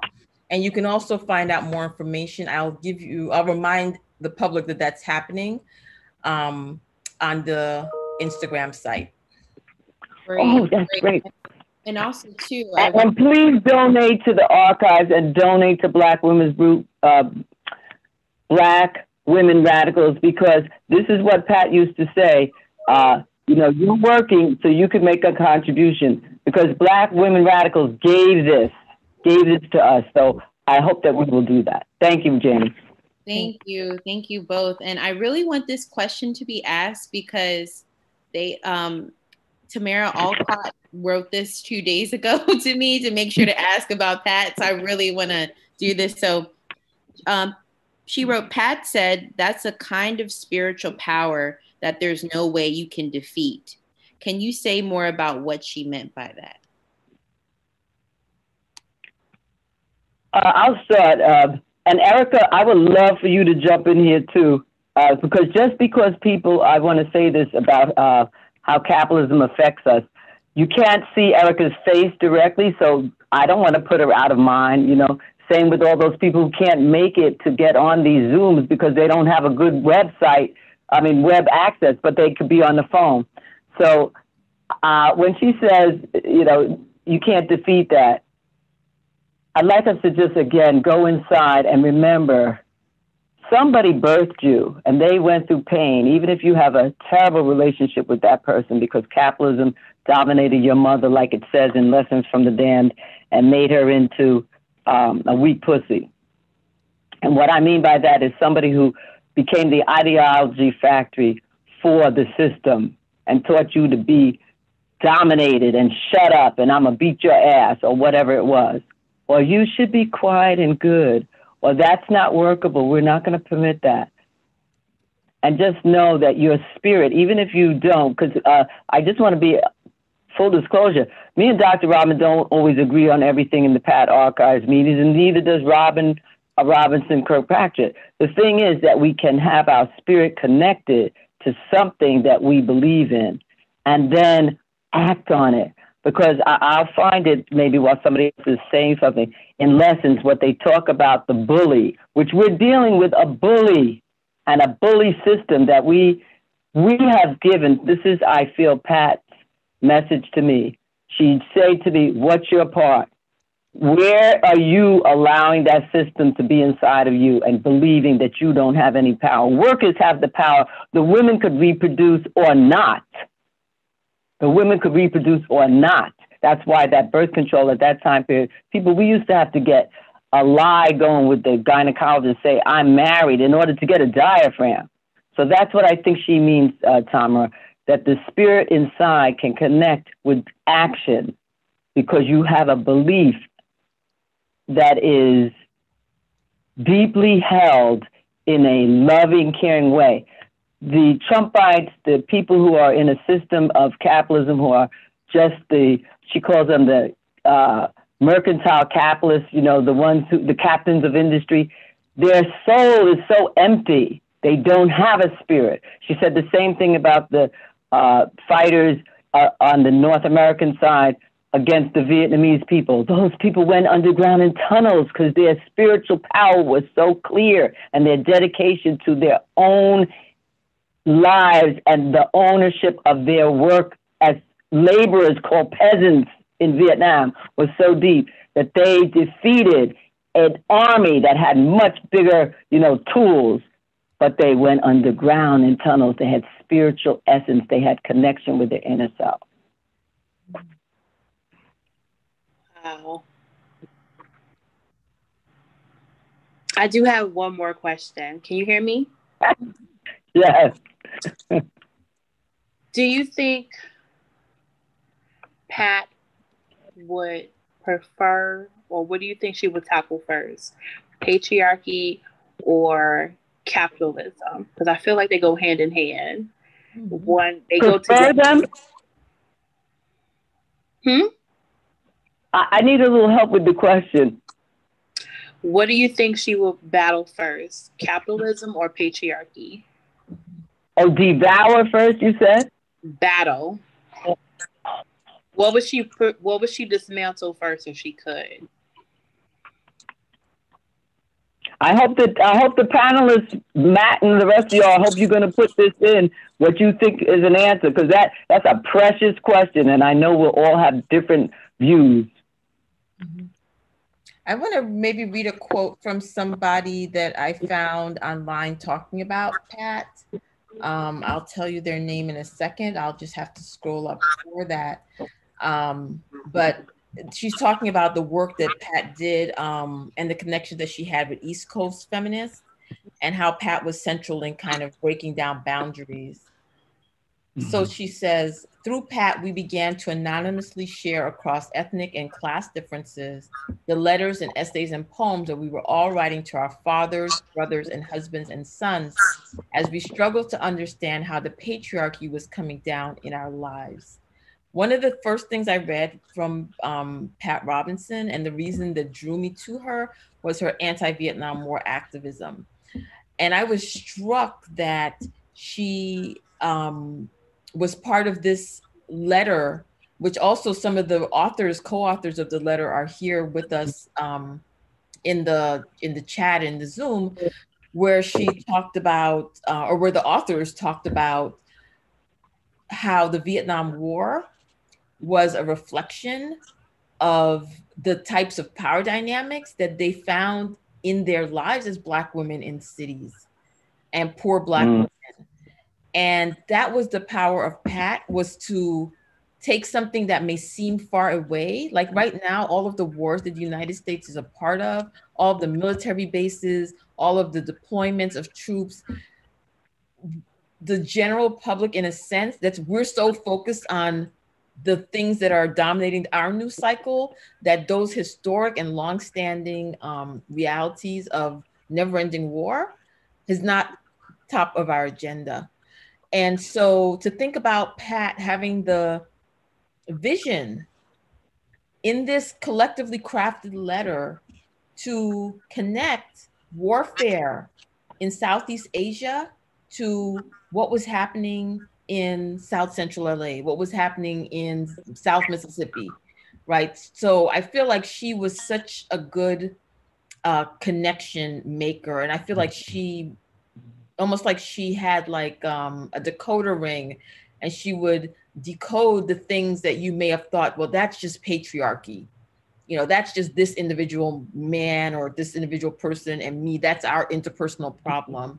No, Pat would say this is structural. This is bigger than your individual personal problems, she would let you know that it was bigger than that. So I think that she wouldn't even, I think that she would just be simultaneously dismantling things. And that's the interesting thing in talking about her that I can say that she was anti-capitalist, she was an anti-imperialist, and she was, um, you know, fighting for uh, women, for uh, um, LGBTQ um, plus community.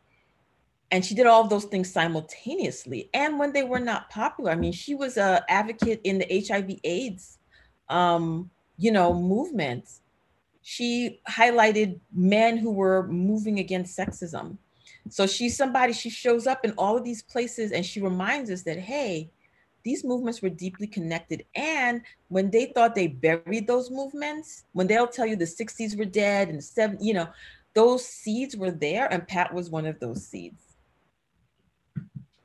I, I hope people heard. I, I want to accent what you said, Robyn, and I, will read first what Matt put in the chat, which is uh, Erika patriarchy, um, racism, these issues come under imperialism and capitalism. In other words, they benefit uh, capitalism to have a patriarchal structure because if you can create divisions, you can steal the people's labor and make them think that they have a good little uh, life because they actually have a job. So, what he says is capitalism is the overlying structure racism and patriarchy are the two main pillars that keep capitalism in place. In all my talks with Pat, personal and political, political and personal, it always came back to capitalism. And Yvonne says she often asks her clients to look wider, to not be narrow, wider, to not be narrow. And I want to read something from uh, lessons and invite you to to know that it's so intertwined. That's what uh, Dr. Robyn was really helping us to see. That was one of the major joys I feel of being around a path. That when you can keep those connections going, so you don't get stuck, oh, it's just this, or we got to do this first. You keep it going on all fronts with the energy that you have. You go with what's most affecting you or what's most primary for you right now. And yet, coalition, she was constantly making us aware that, okay, I disagree with so and so on this topic, but the left gets so sidetracked in these different little silos and we don't keep the conversation going with each other. Yes, please follow the uh, Instagram because then you'll get some of this info. So this is from um, Lupe Family's to Face It, but I had to put this in about Pat. She's called Pam, and it says, to all of her colleagues, Pam shows her very radical aspects. She believes that relationships, even social relationships in this society, are affected by racism and the economic system. Pam goes for the core of an issue and also connects. And I won't finish that sentence because that's the whole thing. Connect the patriarchy with capitalism and see how you can fight it whatever way you're and and surpass it whatever way you can do.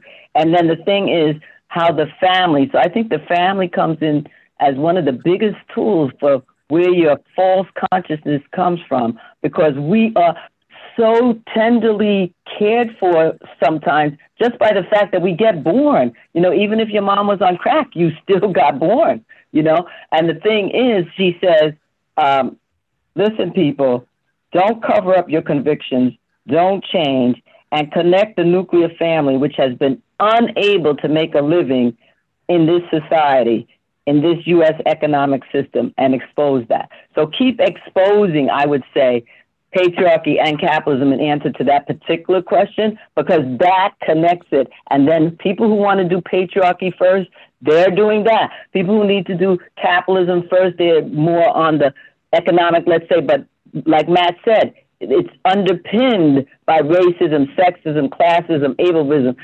all of that supports this horrific uh, economic structure that is is actually defeating the planet from having her life. Oh, I didn't say the thing from Lesson. Just one thing about Lesson. She says all the young black and poor people. I say she says because she. I hope Maureen puts something in here.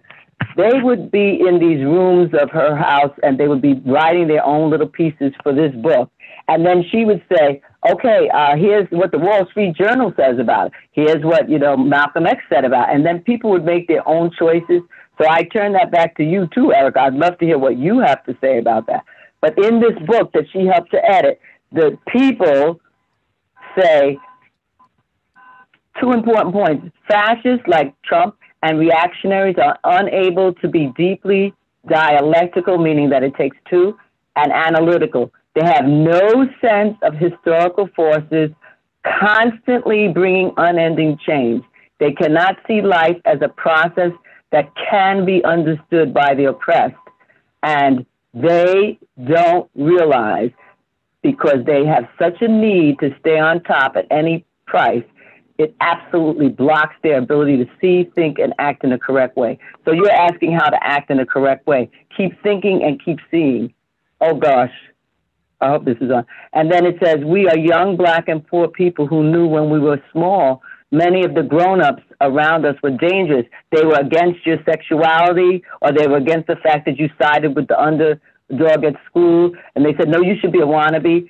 And then they say in the book, Working People's Book, we couldn't put it into words when we were little. We couldn't think Marxist Leninist theory but the historical changes in our world revolutionary era, which is right now too, in our own lives, Erika, finally showed us that we were the life of the future. The grown ups feared and hated. They could not stand the reality of being displaced and the necessity of death any more than their masters can. That's why they can't be able to be reborn or changed. So, in the coming historical periods, I'm adding the S, poor women, workers, peasants, the youth, third world people, and I'll add gender nonconforming people will have to take responsibility for going deeper into our experience and our need to subordinate ourselves. So that helps you to defeat capitalism and patriarchy because we need to subordinate ourselves. I know that sounds so horrific, but why haven't we all united to revolt? Because we're still afraid, but we can do it. Yes. I love that. Thank you, Lupe, so much. Um, and I know we're about to come to an end to the discussion on Pat Robinson, but I, before we close, I really want to thank Erika. I want to thank Lupe, and I want to thank Dr. Spencer for um, just and Jaimee. no, no, no, you don't. no, no, no. Thank you so much. No, I'm just really grateful for this enlightening discussion on the life and legacy of Pat Robinson um, to the point where, I mean, I cannot wait till Dr. Spencer publishes the biography of her life. And also, thank you for the film, Lupe, for um, offering a contextualization of her legacy, and if for Erika for reaching out. I wouldn't have known about Pat Robinson unless Erika reached out to me um, earlier during the uh, zenith of the, I think during the pandemic, actually um, about if I heard of Pat Robinson, and I'm like, no, but then come to find out, I read about uh, her work in The Black Woman uh, by Toni Cade Bambara. So if you see how her spirit is connecting us together um, in in very unique ways. Um, so I just want to uh, give uh, everyone a chance if they want to plug something before we close. Um, feel free to plug any upcoming events or initiatives that you have before we, you know, I can't wait till Dr. Spencer finishes the book so we can have like a book party. yes. Dr. Spencer, talk a little bit about the archives. Would you be yes, willing? I want to talk about the um, actual archive. So there's, you know, so much discourse around the the archive, right? But the archives of Pat's life are actually physical, a physical space. There's a home where all of the stuff is, you know, of her life, her books, her papers, her tea sets, her her china, her record albums, everything like that. And um, of course, it every home requires upkeep, requires um, support to keep the lights on, to keep the temperature controlled, so that we can have some um, way of beginning to inventory and sort through the material until they can get to their forever um, their forever home. So the Pat Archives Committee, myself, Lupe family, and then Pat's daughter, Robin Robinson Patrick, we do fundraising over the course of the year to support that. So I did put the Cash App in the text in the chat box. I'll put it there again if anyone wants to donate um, to towards the upkeep of the physical archives. And I think that there is something about the Pat Archives which is metaphysical as well. That's why I have the Instagram account because it also um, it's a mirror really. It's a reminder. It's it's saying that Pat was important, but then so are you right? So I love, I look at her bookmarks, right? Her bookmarks that she leaves in her book, and what does that tell us about history? Or the things that she scribbled in the margins, and what does that tell us about history? And what is lost? When we sit around and say Black women did not leave behind an intellectual legacy, they didn't write speeches, they didn't, you know, they didn't do all of the things that men had the access to because they were the ones oftentimes helping men to type things and to get their papers together while their legacy remained um, unborn. So here's Pat Archives, a place that is pouring out with information, not just about one life, but about the 20th century, about the Black Revolution, about the global freedom struggle, about class struggle in the United States, which so often goes hidden underneath um, the veneer. So it's important to um, actually support the, the space the actual physical home where Pat Archives is, and also continue to raise her name, right? Because mm. people get excited about the the women that we've heard about, right? Um, and they deserve their shine as well. But imagine behind each name that we know of, behind Angela Davis might be hundreds of women who were radical, who were transformative, who were gender nonconforming, who were um, trying to uproot all of these means of oppression. And Angela Davis will tell you that herself, right? It's not about me. And so it's, it's about mm. Pat, but it's not about Pat.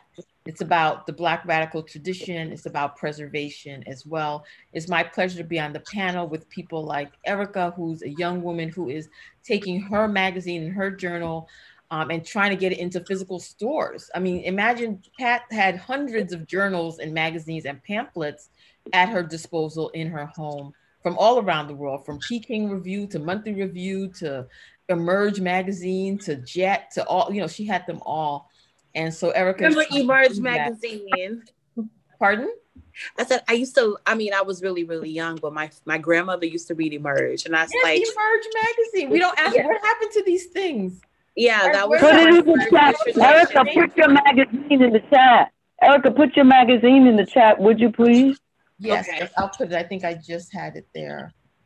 Uh, but yeah, so important to support everyone from, you know, Erika, who is also a mother, who is also trying to create all of this knowledge and put it out there in a space that Black women have been marginalized from, to Jaimee, who has built this incredible platform, which she's she's not using to promote herself, but sharing with any and everybody that can you know meets the vision of what black women radicals is about and their inclusive and transformative vision to lupe an independent filmmaker an archivist um, a speaker a healer. So it's really beautiful that we all um, come together. I'm so excited to see all of the people in the chat right who can say i knew her or i'm here to learn more. So thank you so much. Jaimee jaimee tell us about your feminist University. Because they heard about the book salon. The chat is saying they know how to get. If anybody doesn't know something, put it in the chat. We'll send you the email right now in the chat. Yes. Jaimee? So recently, um, and also I saved the chat, by the way. So, yes, um, this is really great to have. Yeah, but, but let them get it now. You don't have a lot of help to help you to send out all those emails.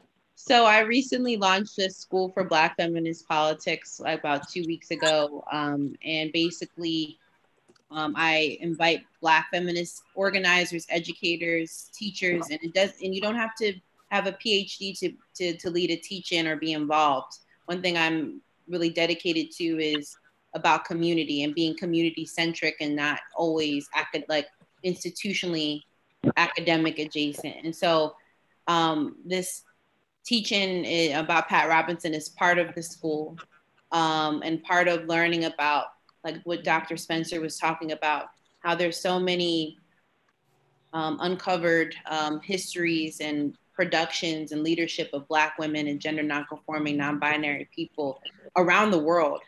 Um, and how can we uplift their stories, or how can we look at Black feminisms, plural, from different perspectives in Black politics? How can we empower Black feminisms in Black politics? So, oh, thank you, Dr. Spencer. Thank you just so much. And oh, somebody said that they uh, bought a sweatshirt and T-shirt. Oh wow, thank you. I bet you they're under fifty.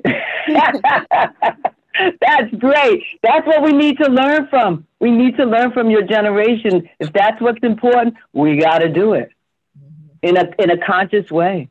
Yes, we do. And I, I just want to say this has been um, generative. It feels like full circle almost like we were supposed to meet. And um, I really hope that each day and every day we continue to uplift the legacy of Pat Robinson, whether it's through reading about her and, and, and connecting with other Black women, but also just remembering her and her work. Um, and and Jaimee, can I add something? And remember all the molecules because that's why the title of the bigger video series is Pat, a revolutionary Black molecule, because she says, and Blanca Vasquez suggested to me, that's the end of the video, Lupe. You got to put it in.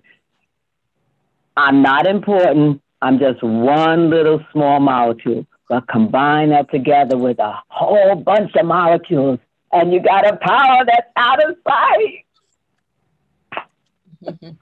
what a way to end that. That is so true. We're all molecules, definitely. So thank you so much, everyone. Thank you, Erika. Thank you, Lupe. Thank you, Dr. Spencer. Thank, thank you. you. so much um, for everyone who joined. And you can also find this video on our YouTube to revisit again and watch and, and learn more. So oh, someone said thank you, molecules. Thank you, molecules. Have a good night, everybody. I love it. Good night, everyone. Thank you so much. We'll be in touch. Bye bye. Bye bye.